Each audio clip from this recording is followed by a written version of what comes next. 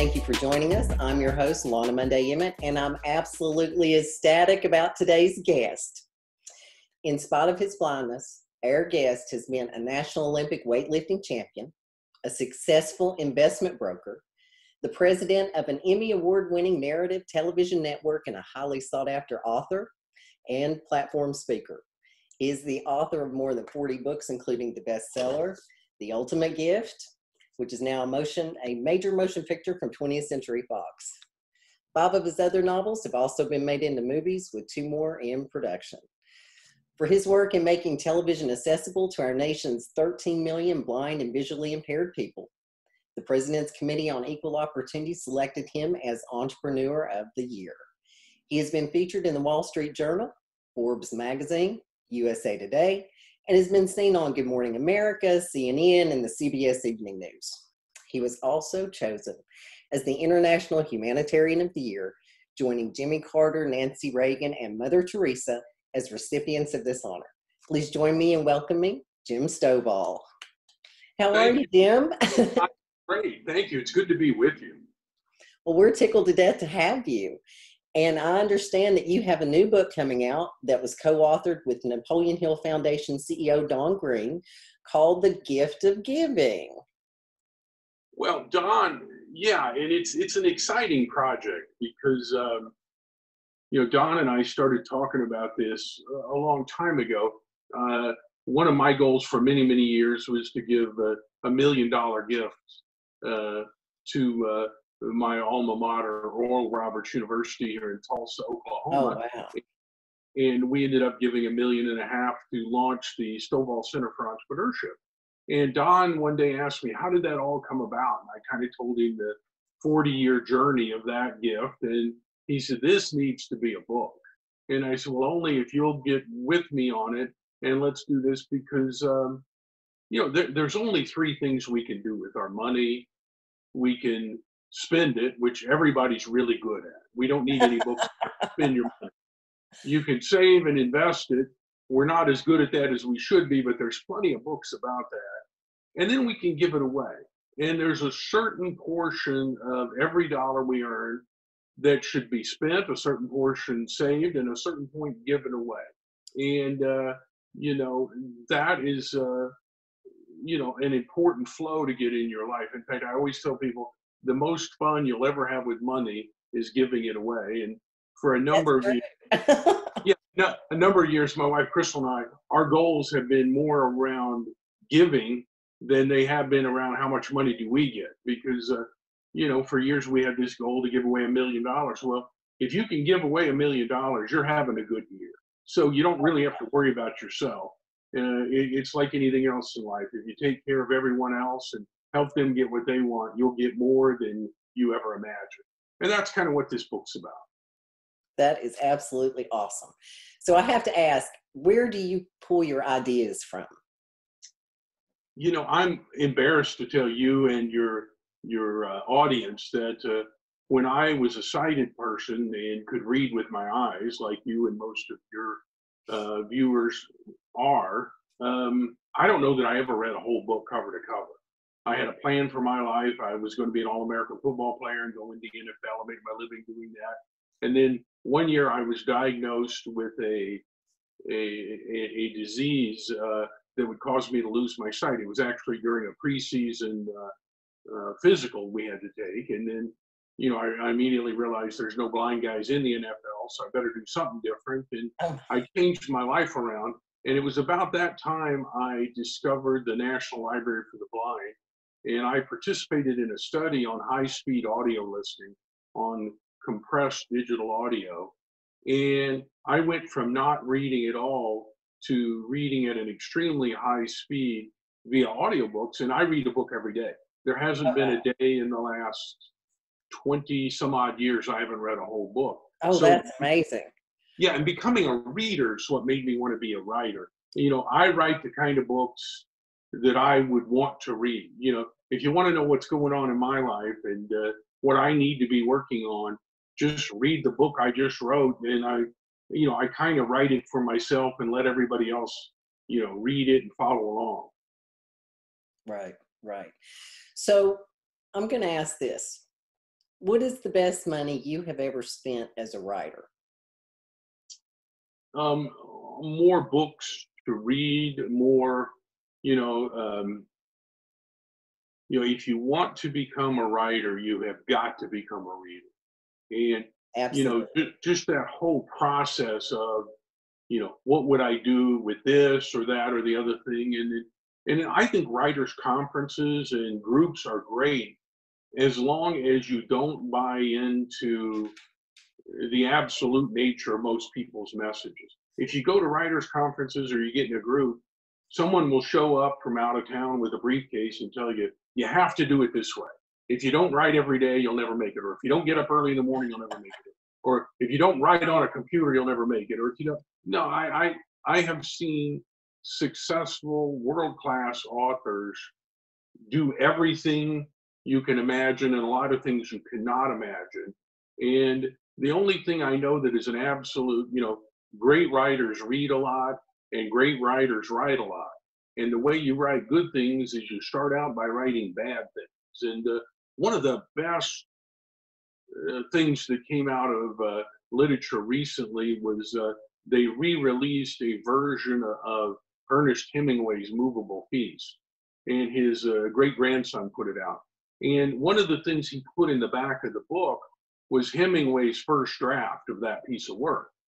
And what was so great about it was, uh, you know, when I read Hemingway, I can get intimidated pretty quick, and I can, you know, I, I want to quit and never write again. Well, when you read his first draft, you think, wow, I can write. You mean he's no better. and and you, you see how bad his first draft was too. So, uh, um, you know, just the willingness to. Uh, one of the greatest writers of the 20th century, James Michener, said every aspiring writer is filled with eight volumes of garbage. I'm paraphrasing Mr. Michener, but he said filled with eight volumes of garbage. And the ones you've heard of, the ones you know, the ones that become famous, they're willing to write through those eight volumes of garbage to get to the goal to be on. And um, but unfortunately, everybody wants to, uh, you know, take their first draft and they compare that to other people's published work. It's like going on Facebook and letting, looking at people's highlight reel of their life. Yeah. And you, man, I, I got nothing going on here. right. Very common. so I know you had your Wisdom for Winners series because there are four four books. Am I right? There's a fifth one out now, and there was a book before that started called Today's the Day. So we've done six volumes now of my syndicated columns. Right. So I have to ask this since I know all of those books are, you know, sort of connected, right? So yes. do you want each of your books, because you've written so many books, do you want each book to stand on its own, or are you really trying to maybe build a body of work with connections between the books? Well, I certainly hope when people read my books or watch the movies that they will then go back and explore what else I've written.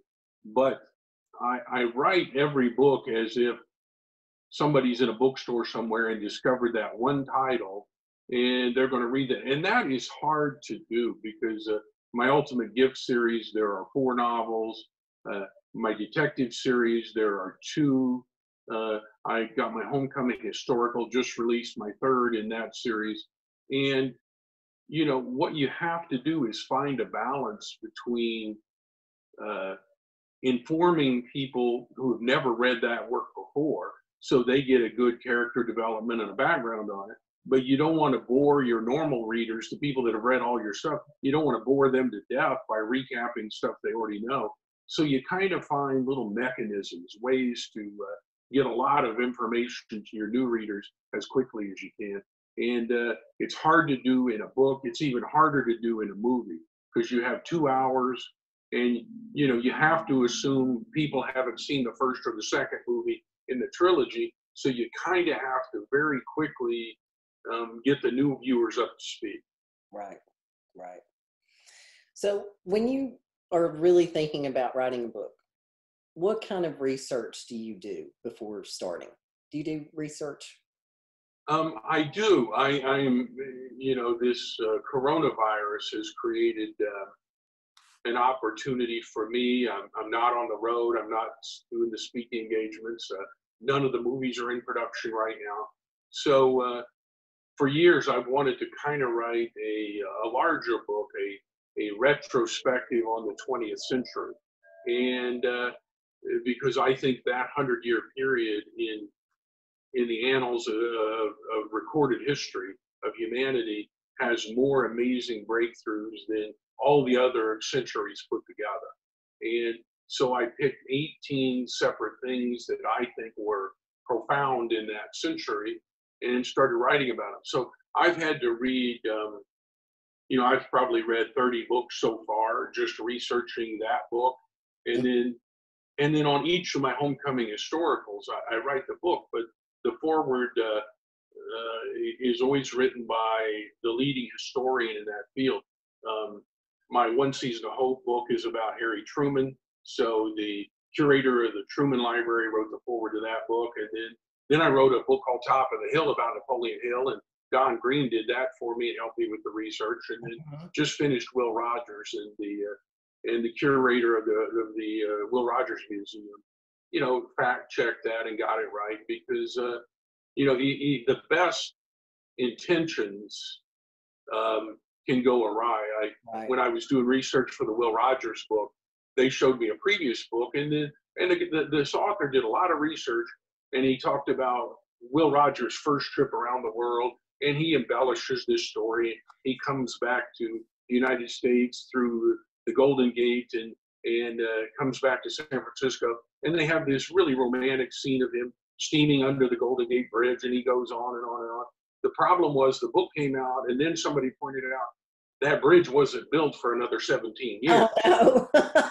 and, and, you know, so you just need somebody that checks everything you say. Right. Definitely makes sense.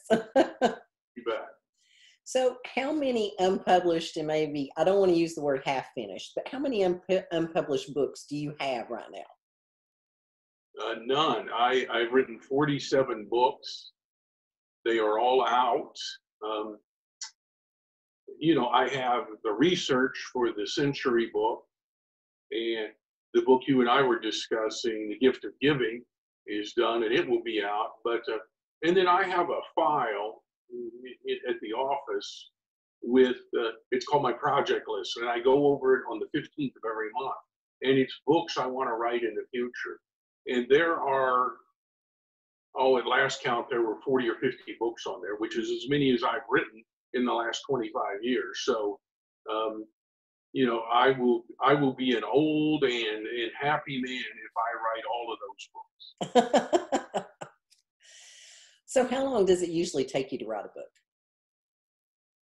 Um, it really varies. I, I uh, the fastest book I ever wrote was The Ultimate Gift. I had never written fiction before. I had written seven books before that and the publishers just kept wanting more and more books. And I got to the point where I'd written everything I knew and a few things I only kind of suspected. So when they wanted another book, I decided I got to make something up. So the only thing I had in my mind when I started that project was the first line of that book. And I went to the office, and as a blind person, I dictate all of my books and columns and screenplays to some very talented people in my office. And um, we started, and uh, I that book just flowed. I didn't know what the 12 gifts would be. I didn't know where the story was going. It came to me as I dictated it. And I wrote that book in five days between my other appointments and, and, phone calls in the office. That's the fastest, the easiest I ever wrote a book. And the way I dictated that book is the way last I heard 8 million people now have read that book around the world. I, there's never an edit, never a rewrite. And then, and then I have other books that took, um, you know, six months to write. Um, and ironically, the collaborations take long because you know you would think, wow, you got somebody else writing half the book for you. Well, you got to wait on their half and make sure it fits, and and you know all those sorts of things. So, you know, anywhere between five days and six months. Wow. So, do you have do you view writing as maybe a kind of spiritual practice in a way? Yeah, I, you know, for me, it's an outlet. Um, when I finish a book, um, I'm done. I, you know, I'm like a woman that just had a baby. I, I okay, I'm done with that, and I don't ever want to do that again. and um, and uh, and then we have, you know, I don't like writing. I like having written is what I enjoy. And, and but then after, you know, a few few months or uh, whatever it is, an idea will come to me, and I'll think, what if this and what if that? And the next thing you know, you've got a book idea working, and it uh, there you go. And so they kind of write themselves. I am not one of these people that writes every day. I, you know, I write when I feel like I want to write something. And, uh, you know, I finished the book with Don. I'm working on the, the next book, but then, uh, you know, I'm okay. I, I don't, I don't have a goal. Like I said, I've written 47 books. Uh, eight of them have turned into movies now. And, uh, you know, I, I, I I'm just not going to do number 48 just to have another book. I really want to say what I want to say and make it matter. And that's an important thing for me. Right, right.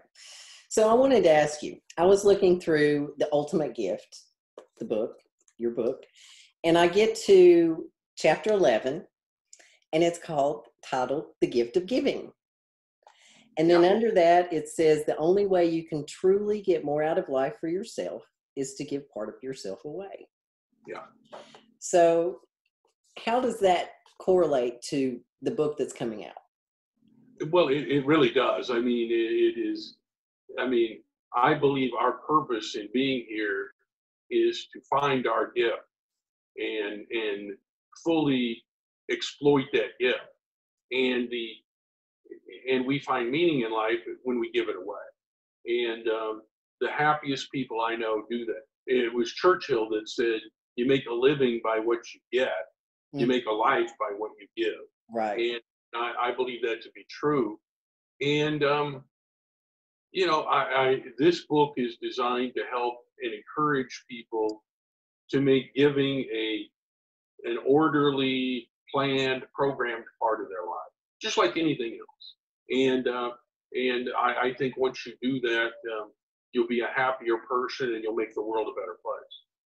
Absolutely. And I know that's the Napoleon Hill Foundation, that's their mission is to make the world a better place.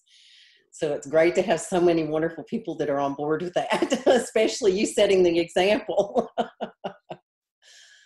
well, I, I, mean, I've done a number of books for them and donated all the proceeds, including this book.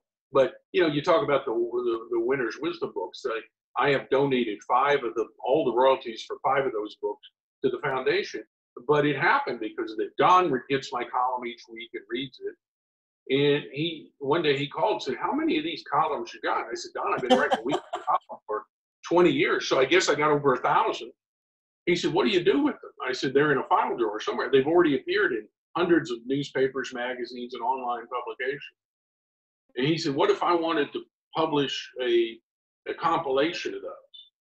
And I said, Knock yourself out and uh, you know I'd, I'd be happy i mean so he took something that was basically a byproduct sitting there gathering dust and turned it into you know an amazing product that's reached a lot of people around the world and it's it's raised a lot of money for the foundation and, uh, and the work they do Oh, absolutely. And you know, the foundation, they fund scholarships for so many students, and that's just a real blessing. I mean, to be able to have proceeds and income to be able to do that.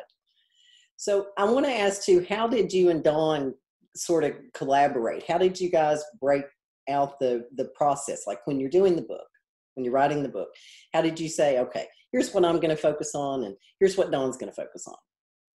Um, both of us are fairly independent, and when you read the book, you'll see the first half of the book is me, and then Don wrote his, and then we kind of collaborated on the so what, the, the, the stuff at the end of it.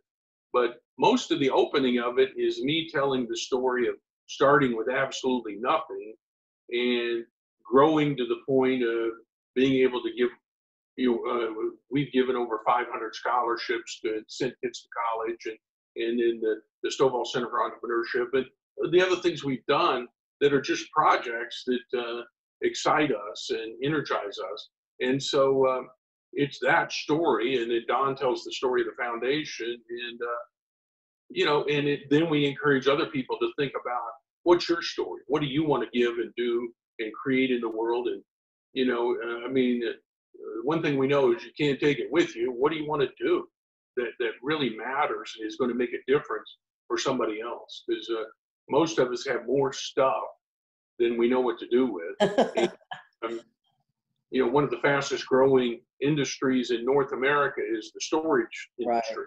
So, you know, we're renting space to store stuff that we don't want. I mean, it, it's really ridiculous. And, uh, and uh, the idea of uh, becoming a, a, great giver is, uh, is what motivated, I think, Don and I both. That's wonderful. Is there, is there any part that you wrote that was edited out of the book? Um, no, not really. I mean, um, you know, there, there's there's a couple places in there that I I write about uh, how important Don is to me and how special I think he is. And they came back and said, Don's not totally comfortable. He's very think, humble. I think was get over it. I mean, I, I am not taking that out. I mean, that that's my opinion, and I'm sticking to it. I told Don I am still the world's leading authority on my opinion. And I'm digging to it there. Oh, that's priceless. oh gosh. So tell me, last question. What advice do you have for writers, up and coming writers? Um, read everything you can. Find something that excites you and write about it and write the book you would want to read. You know, this is a book I would read this book. And it's good to do that because in the beginning you may be the only one reads your book for a while. Eh, but uh, so read everything, uh, write something that matters to you, and just keep writing. Just keep writing, and uh, and it will happen for you. And there are people, you know, their first book, their second book doesn't create the. You, you look at a guy, um, John Grisham you know, a big time New York Times bestseller. Well, his first couple of books just kind of laid there on shelves and didn't go anywhere. Then he wrote one big book, and all of a sudden, those books that hadn't sold took off and became big time books and movies. So, you know, I, I just, um, that would be the advice. And don't get intimidated. Just keep writing. I mean, and I know there are times it seems absurd that I'm going to write something that people should spend their time and money on but uh, you know, I'm the guy that writes books I can't read that are turned into movies I can't see, and it makes sense to me. So if I can do this, absolutely anybody can do this. Very good words. Excellent words. So just to recap, the book is called The Gift of Giving, and it is pre-order now, available at Amazon, and um, it's released, going to be released on July 8th. Is that right? Yes. Excellent. Well, thank you, Jim, so much for being with us. We certainly appreciate your time and, and all of your wonderful words and looking forward to reading this book cover to cover. I've got so many of your books here on the desk that I've gone through and read. you are just a wonderful, a wonderful writer and just a real treat to speak with. So well, thank, thank you so you much. Are, you are a wonderful interviewer and I appreciate it. And uh, just getting to visit with you and your audience about one of my favorite things, which is books. So thank you very much. Well, thank you for joining us. And everybody, we'll see you next time. Don't forget to go buy that book on Amazon. Bye bye.